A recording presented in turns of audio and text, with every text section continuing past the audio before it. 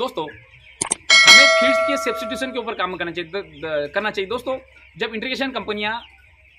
feed का rate बढ़ जाता है, जैसे कि मक्के का रेट बढ़ गया या फिर सोया डीओसी का रेट बढ़ गया तो दोस्तों, वो कैसे सब्सिट्यूशन के ऊपर चले जाते हैं और हमें